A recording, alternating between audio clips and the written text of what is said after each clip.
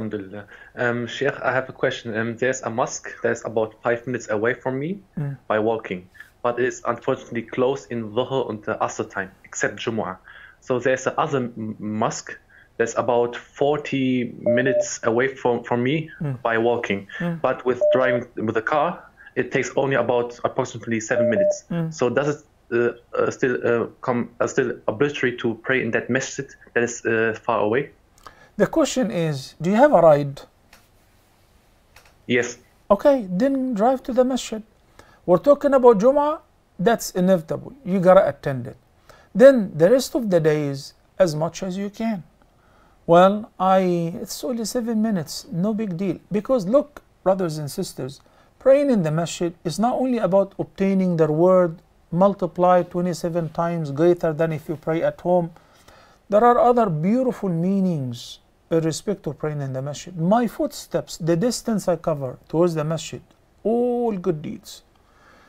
If you're walking, each footstep, Allah rem- uh, re- removes some of your sins and elevates you into a higher rank with each footstep.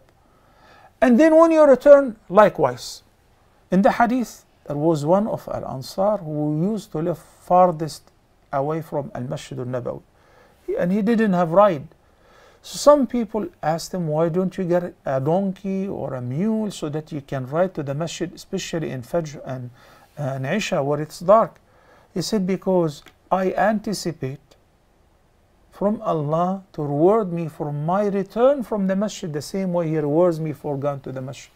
So the Prophet ﷺ heard about that and said, قَدْ كُتِبَ لَكَ ذَلِكَ كُلُّهُ Yes, indeed.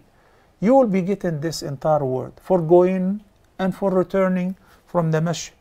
Meeting people in the masjid is such a great deed.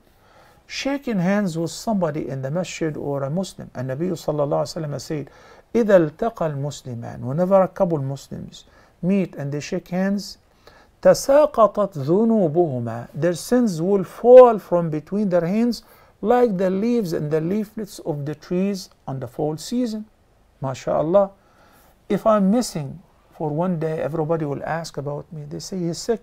All those people will make dua for you.